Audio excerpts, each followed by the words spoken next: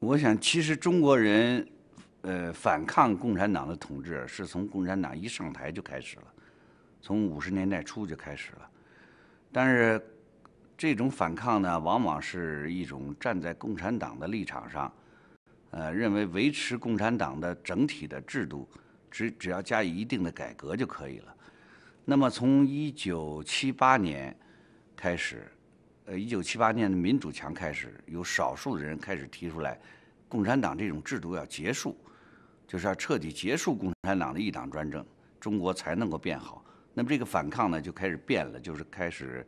要改变共产党的制度了。这个是从一一九七八年民主墙开始的，在那个呃，我们在民主墙贴出这些观点的时候，当时在民主墙也是受到很多人的攻击。但是呢，老百姓都非常爱看，围观的人非常多，而且流传的非常广，所以当时的老百姓呢，大多数人是没有想到可以推翻共产党，有少数人是想到了，但是不敢说。呃，所以我们在民主墙里把这些话说出来了，公开的宣传，而且印成一些油印的那个杂志传播了以后呢，很快在全国引起，就是在中国人思想里引起很大的反响。所以在我们进去以后。就是我被关进去以后，从八十年代初开始，中国的这个要求民主，实际上就是要求结束共产党一一党专政的这种思潮，就发展的非常快。呃，整个八十年代就成为共产党的一个最大的敌人，包括共产党内部的很多人也跳出来说，中国应该走民主的道路，要自由化，这成为邓小平要打击的主要的目标。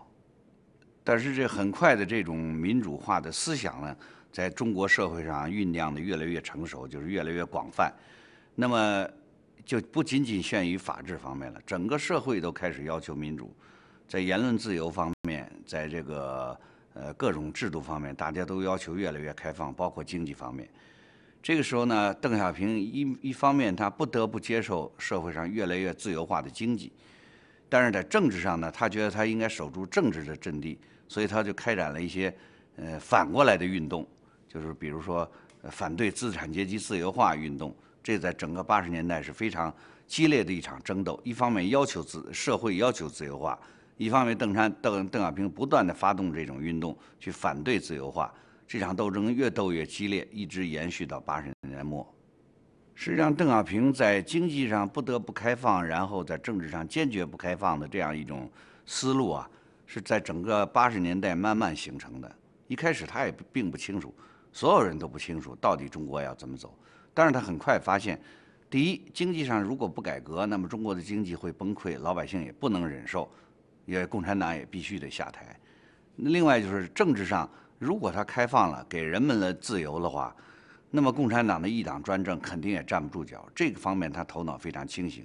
所以。所以他的这种思想和整个社会上要求呃民主化的这种情绪，呃对抗的越来越激烈，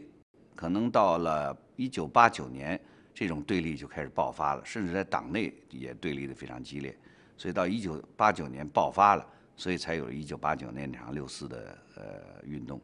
所以他在经济上他发现呃可以放手的发展，不但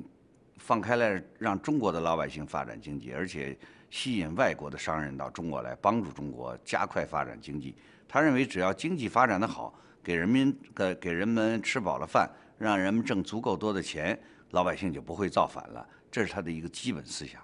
邓小平认为，就是这也是整个八十年代发展过来的一个思想，就是说，他认为如果经济发展了，那么是不是很多西方人认为经济发展就会民主了？但是正这邓小平认为，经济发展了以后，怎么样继续？维持一党专政，这个方法就是在他那句有名的话里说的：“让一部分人先富起来，或者说让自己的子弟们先富起来。如果这些钱都掌握在我们子弟的手里，嗯，那么将来即使发展了资本主义的经济，那么政治上共产党仍然能够维持一党专政。他认为所谓的民主也是也是掌握在资产阶级手里的。那么只要资产阶级还是我们共产党的人。”那么，这个政权一定还是我们共产党一党维持的。